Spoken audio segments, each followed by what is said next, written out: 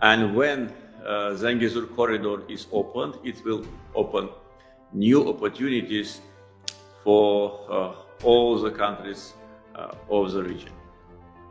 Therefore, uh, I'd like to say that Azerbaijan is open for cooperation, open for um, planning our common future, because we are neighbors, whether we like it or not, we have to live side by side, and uh, we need to learn once again how to live side by side. It's not easy.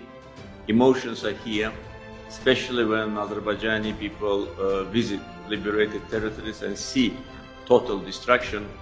You can uh, imagine what kind of emotions they have.